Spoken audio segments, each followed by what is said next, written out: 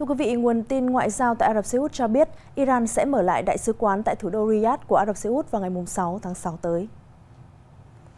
Buổi lễ mở lại đại sứ quán của Iran sẽ diễn ra vào lúc 18 giờ theo giờ địa phương, ngày 6 tháng 6, với sự hiện diện của đại sứ Iran mới được bổ nhiệm. Theo báo chí Iran, chính phủ nước này đã bổ nhiệm ông Ali Reza Inayati làm đại sứ tại Ả Rập Xê Út. Phía Ả Rập Xê Út vẫn chưa công bố thời điểm mở lại đại sứ quán tại Iran, cũng như sẽ bổ nhiệm ai làm đại sứ tại nước Cộng hòa Hồi giáo này. Bộ trưởng Quốc phòng Ấn Độ Rajnath Singh ngày 5 tháng 6 có cuộc hội đàm với người đồng cấp Mỹ Lloyd Austin tại New Delhi để thảo luận các biện pháp nhằm tăng cường quan hệ quốc phòng song phương. Các cuộc thảo luận giữa những người đứng đầu Bộ Quốc phòng Mỹ và Ấn Độ tập trung vào việc tăng cường hợp tác quốc phòng song phương trong một số lĩnh vực bao gồm hội tụ các lợi ích chiến lược và tăng cường hợp tác giữa hai nước. Hai bên nhất trí duy trì động lực cho các hoạt động quốc phòng song phương hợp tác mạnh mẽ và toàn diện. Bộ trưởng Quốc phòng Ấn Độ Mỹ đã ký kết lộ trình hợp tác công nghiệp quốc phòng, trong đó xác định các cơ hội hợp tác phát triển công nghệ mới và hợp tác sản xuất các hệ thống mới và hiện có. Hai nước cũng sẽ tạo điều kiện tăng cường hợp tác giữa hệ sinh thái khởi nghiệp quốc phòng. Lộ trình sẽ góp phần định hướng chính sách trong vài năm tới.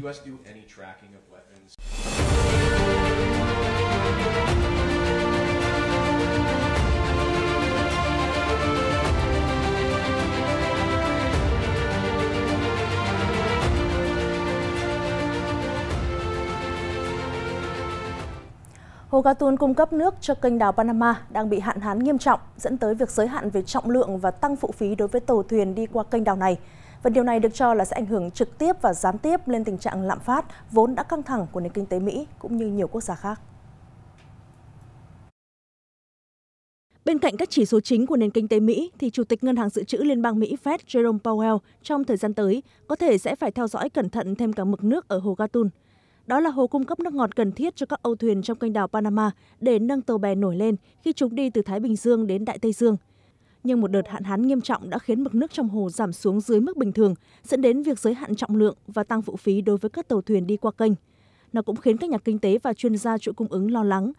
Ngay khi tình trạng tắc nghẽn giao hàng trên thế giới đang giảm bớt, hạn hán ở Panama có nguy cơ làm sống lại một số hỗn loạn của năm 2021 khi chi phí vận chuyển và nhu cầu của người tiêu dùng tăng cao, dẫn đến tình trạng thiếu hàng hóa, góp phần đẩy lạm phát của Mỹ lên mức cao kỷ lục 4 thập kỷ. Hạn hán cũng có nguy cơ làm suy yếu cuộc chiến của Fed. Lạm phát của Mỹ đang dần chậm lại nhưng vẫn ở mức 4,7%, rất khó chịu đối với các ngân hàng trung ương. Những tin tức bất lợi trong ngành vận chuyển có thể tác động đến tình hình. Thật vậy, hạn hán đã khiến việc vận chuyển hàng hóa trở nên đắt đỏ hơn. Cơ quan quản lý kênh đào này đã giảm dần mức mớn nước kể từ tháng 2, khiến các tàu lớn buộc phải giảm tải trọng. Và kết quả là chi phí vận chuyển hàng hóa qua tuyến đường này đã tăng cao. Thậm chí một số hãng vận tải biển cũng bắt đầu tính phí container theo thùng từ ngày 1 tháng 6. Các chuyên gia hậu cần cho hay nếu mực nước hồ Katun tiếp tục giảm như dự báo thì phản ứng của thị trường sẽ là tăng giá vận chuyển và tranh giành tìm các tuyến đường thay thế từ châu Á đến Mỹ. Điều khiến vấn đề còn trở nên tồi tệ hơn là một hệ thống endino Nino đang hình thành ở phía tây Thái Bình Dương và dự kiến làm đảo lộn các kiểu thời tiết bình thường vào cuối năm nay. Đối với Panama, nó thường có nghĩa là hạn hán nghiêm trọng và nhiệt độ cao hơn bình thường. El Nino có thể khiến mùa khô hạn kéo dài hơn đối với Panama vào năm 2024. Ông Eric cũng cho biết thêm, kênh đào có thể buộc phải cắt giảm số lượng tàu đi qua mỗi ngày xuống còn từ 28 đến 32 từ con số 36 tàu hiện nay. Kênh đào Panama là một trong những tuyến đường biển nhanh nhất và ít tốn kém nhất để vận chuyển ngũ cốc và các mặt hàng khác như hàng tiêu dùng từ Trung Quốc và châu Á đến các cảng của Mỹ. Khoảng 5% thương mại hàng hải toàn cầu hàng năm đi qua kênh đào này. Các tàu container chiếm khoảng 45% lưu lượng.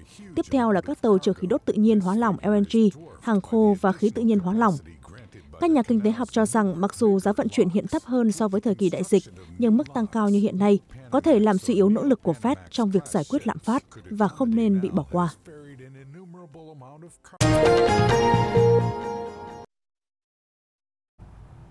Theo các nhà khoa học nông nghiệp thì phần lớn các loại ngũ cốc vụ đông của Ukraine hiện vẫn đang trong tình trạng tốt. Tuy nhiên năng suất của chúng thì hoàn toàn có thể giảm tới 20% nếu như thời tiết khô và nóng kéo dài. Ukraine là một quốc gia trồng và xuất khẩu ngũ cốc lớn trên thế giới. Tuy nhiên, kể từ khi Nga khởi động chiến dịch quân sự đặc biệt hồi tháng 2 năm 2022, sản lượng ngũ cốc và xuất khẩu của Ukraine đã sụt giảm mạnh. Theo chính phủ Ukraine, sản lượng ngũ cốc giảm xuống còn khoảng 53 triệu tấn vào năm 2022, từ mức kỷ lục 86 triệu tấn của năm 2021. Đối với cả năm nay, sản lượng được dự báo sẽ còn giảm sâu nữa xuống mức 44,5 triệu tấn. Theo Viện Hàn lâm Khoa học Nông nghiệp Quốc gia Ukraine, trong trường hợp thời tiết khô hạn tiếp tục kéo dài trong thời kỳ hạt ngũ cốc hình thành, đặc biệt là khi nhiệt độ không khí cao, tỷ lệ sản lượng bị mất có thể từ 15 đến 20%. Các loại cây trồng được gieo muộn đặc biệt gặp rủi ro lớn khi đứng trước các điều kiện thời tiết khắc nghiệt. Ngày 4 tháng 6, Phó Thủ tướng Nga Alexander Novak cho biết nước này sẽ gia hạn quyết định cắt giảm sản lượng dầu tự nguyện ở mức 500.000 thùng một ngày cho đến cuối năm 2024. Theo Phó Thủ tướng Nga Alexander Novak, Nga sẽ gia hạn việc cắt giảm sản lượng tự nguyện 500.000 thùng dầu một ngày cho đến cuối tháng 12 năm 2024 như một biện pháp phòng ngừa với sự phối hợp cùng các nước tham gia thỏa thuận của Tổ chức các nước sản xuất dầu và đối tác OPEC cộng về việc cắt giảm tự nguyện được công bố trong tháng 4 vừa qua. Hạn ngạch sản xuất áp dụng với Nga được xác định tại cuộc họp OPEC cộng là 9 triệu 828 nghìn thùng một ngày. Tuy nhiên, do con số này không bao gồm các mức giảm tự nguyện, nên Nga cũng thông báo sẽ giảm sản lượng xuống 9 triệu 328 nghìn thùng một ngày trong năm 2024. Các hãng hàng không dự kiến phục vụ 4,35 tỷ lượt hành khách trong năm nay, gần mức cao kỷ lục của năm 2019 khi ngành này phục hồi khỏi đại dịch COVID-19. Hiệp hội Vận tải Hàng không Quốc tế IATA cho biết ngành hàng không sẽ tăng trưởng trở lại vào năm nay với 4 tỷ 350 triệu lượt hành khách dự kiến. Số hành khách sẽ gần với mức cao kỷ lục của năm 2019. Lợi nhuận dòng dự kiến đạt 9,8 tỷ đô la vào năm 2023, tăng gấp đôi so với mức ước tính trước đó nhờ Trung Quốc dỡ bỏ các biện pháp hạn chế được áp đặt để phòng dịch COVID-19. IATA cũng cho biết khoản lỗ của ngành hàng không trong năm ngoái là 3,6 tỷ đô la, chỉ bằng một nửa mức ước tính được đưa ra trước đó. Các diễn biến tích cực đến một phần nhờ Trung Quốc dỡ bỏ các biện pháp phòng dịch sớm hơn dự kiến. Giá nhiên liệu máy bay vẫn cao nhưng đã ổn định trong nửa đầu năm nay. Những bất ổn kinh tế không khiến hoạt động du lịch giảm sút, ngay cả khi giá vé tăng do chi phí nhiên liệu bị đội lên.